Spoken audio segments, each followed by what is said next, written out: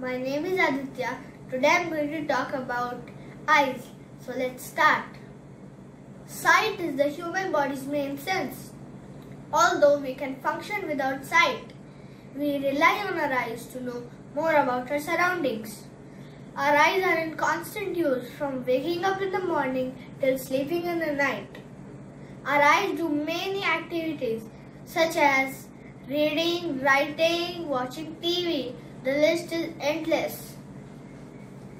The eyes help us to determine shapes, colors, movement and much more. Around two-thirds of the information is given through the eyes to the brain. The optic nerve carries all the information given from the eyes to the brain. Then the brain processes the information and then it helps to make decisions. For example, if you see a ball flying towards you, you will move out of the way quickly. Did you know eyes are made up of watery jelly and are very fragile so they need to be well protected. Luckily, the body has provided some protection to the eyes. The skull is made up of bone which protects the back of the eye and the brain. Most of the eye is encased in the eye sockets. They have protection layers of fat. Eyebrows prevent sweat from dripping into the eye and eyelids and eyelashes prevent the dust and dirt from entering into the eyes. Now let's discuss the parts of the human eye. In the eye, the first three parts are called pupil, cornea and lens. Now, back of the lens are four more parts. Vitreous humor, optic nerve, choroid and last the retina. Incredible! What an interesting fact! The iris is a colored part of the eye which is as unique as our fingerprint.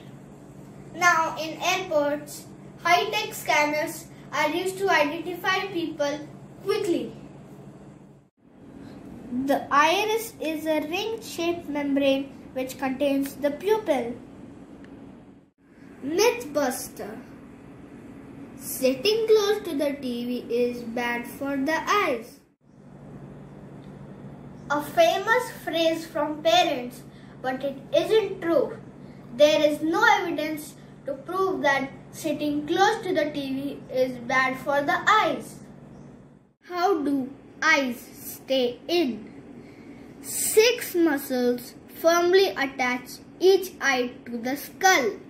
These are called the medial and lateral rectus, the superior and inferior oblique, and the superior rectus and inferior rectus muscles.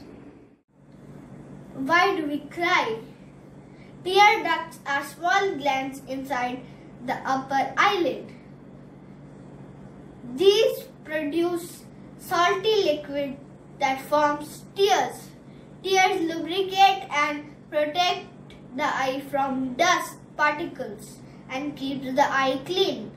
There are three types of tears generated by the human eye.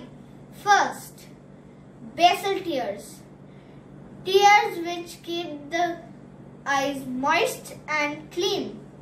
Second, reflex tears. Tears when flush out from somebody when it gets irritated. Emotional tears. Tears when come out of the eye due to sadness, distress or physical pain. Studies have been shown crying can be good for you. It relieves tension by balancing the body stress levels. Thanks for watching my video. Stay tuned for the part 2 video. Till then, bye.